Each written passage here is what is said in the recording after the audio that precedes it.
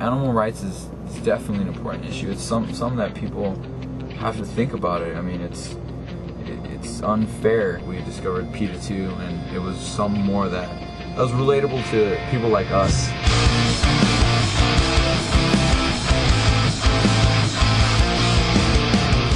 Maybe about five, six years ago, I was at a Take, Take Action tour, and I saw the, the PETA 2 table, and I went over there just kind of just curious and seeing what was going on, watching the videos and being exposed a little bit to it.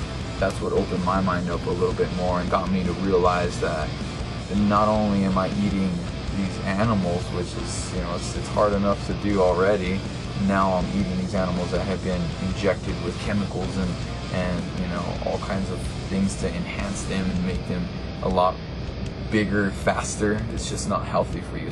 But once I started to dig in more and I saw that there was more videos and stuff that I saw of animals once they they they were put into cages and they were not allowed to move and they were so fat and so full of like tumors and and just growths that they could not their legs could not withhold their own weight it was that that really started to hit me you know it's not fair and it's it's not healthy to them it's not healthy to me. You may not think because you're not out there torturing the animal yourself but by consuming it you are.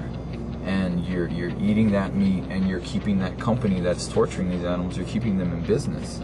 And KFC is is definitely one of the big places that that can do something to help stop it and it's choosing not to. You know it's for us like people like us and people like you who can uh, help put an end to it